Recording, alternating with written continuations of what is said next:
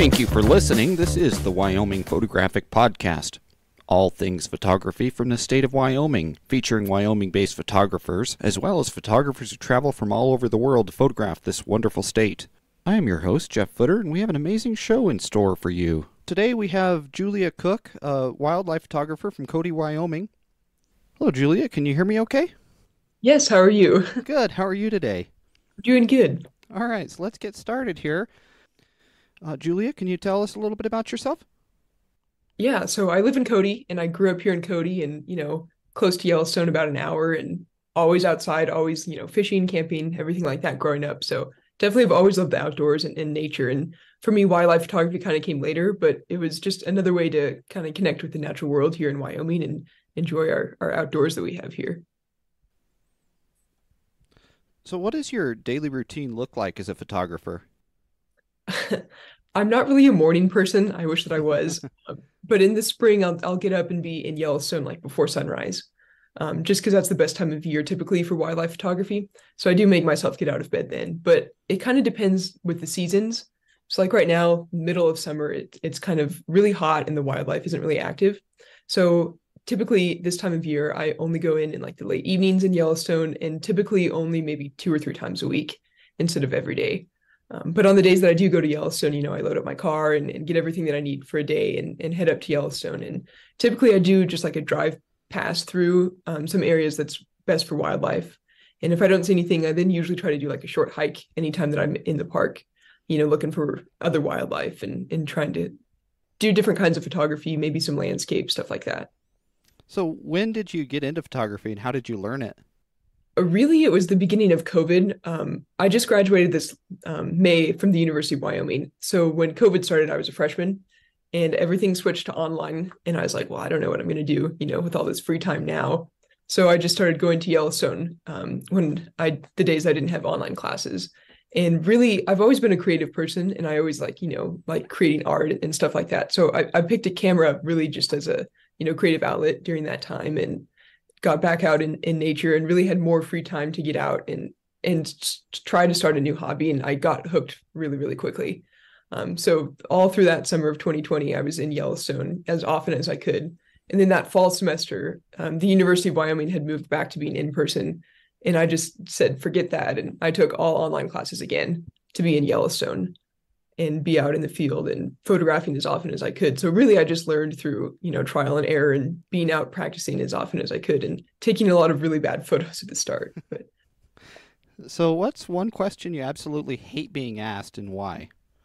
I really don't like when people ask how much my camera setup costs.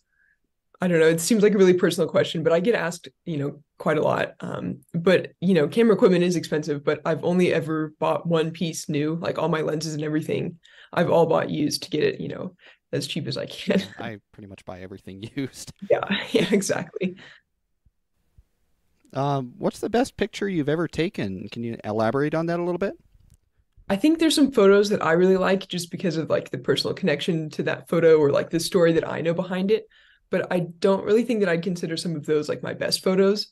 I think probably one of my best photos um, is a, a photo of a gray wolf with a raven flying directly over its head.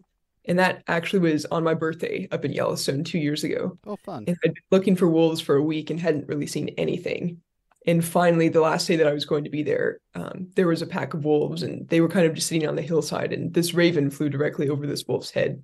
And I got the shot where they were perfectly lined up. And so I think technically, like like technical wise, that that's probably my best photo and, and one that was definitely really difficult to get and that I never even really thought would be possible to get. So that one's probably up there.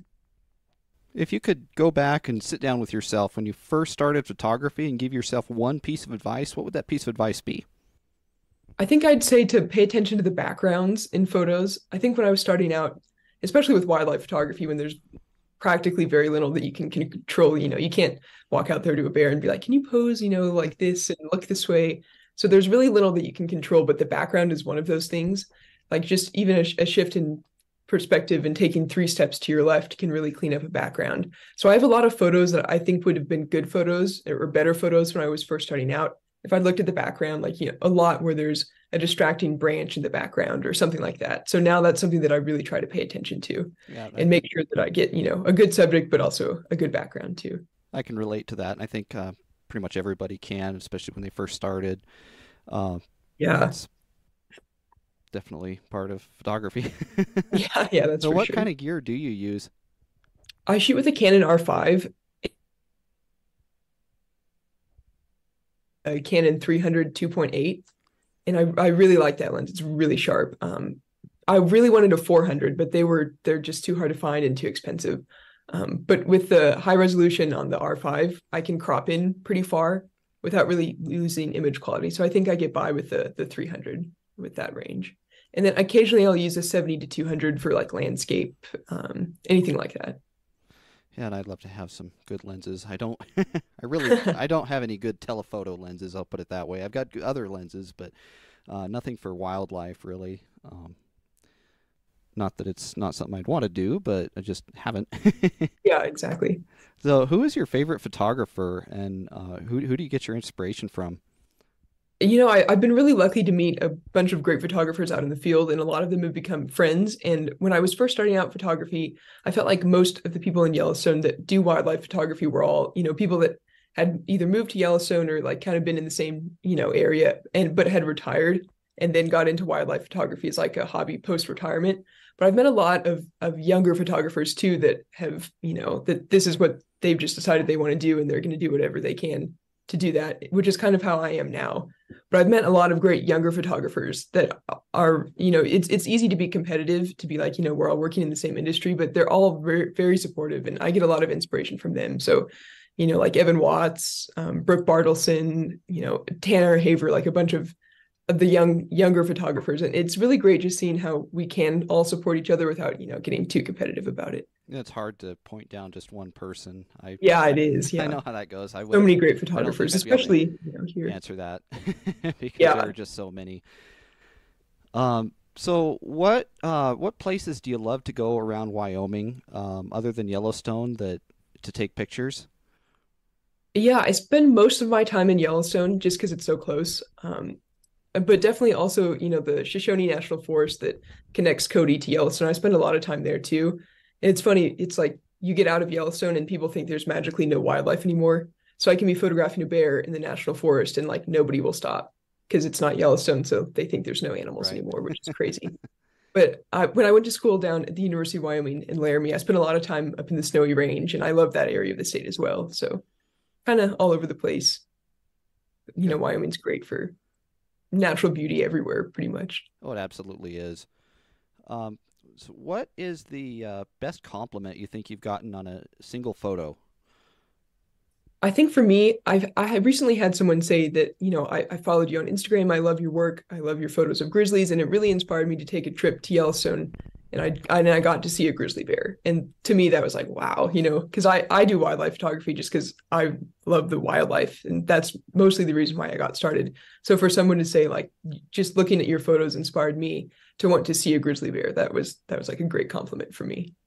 So what is um, what is your biggest photographic failure, and how did you recover from that, and how did you learn from that? How did that make make you better?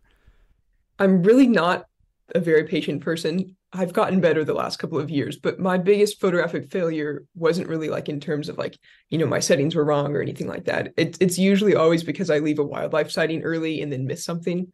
So the the one that hurt the most was I was in um, the Tetons two years ago, waiting for 399 to come out of hibernation with her four cubs, and I waited for like a week and I saw nothing, and I was like, I'm done, I'm over this, and so I, I left. And like an hour after I left, she came out with all four of her cubs, and so that was one that I was, you know, still kicking myself over, but it it made me learn now that at whatever point that I'm like, you know, I'm ready to leave, I'll I'll wait longer, and I I'll you know set a different time and say well, no I'm not leaving until this time or you know whatever until I'm I'm convinced that truly nothing's going to happen. So that was definitely up there. I think that's that way for a lot of types of photography. I'm I'm more of a um, more of a landscape photographer, Mhm. and the same way. Um, a lot of times I'll I'll leave because oh the light's just not right or the light's not gonna Yeah. be right, and then as soon as I leave, everything changes, and that's just how it goes Yeah. sometimes. Yeah, exactly. So a- anyway, it's been really really good having you on the show. I hope that Yeah, thank you. hope that uh, everybody got something out of that, and I'd love to have you back at some point if you'd be willing. Yeah, absolutely. Anytime. So, um, where can people, where can listeners find your contact information, your um, see your pictures and Yeah, so I, I post most frequently on on Instagram, and that's uh, at julia.littlelightningnature.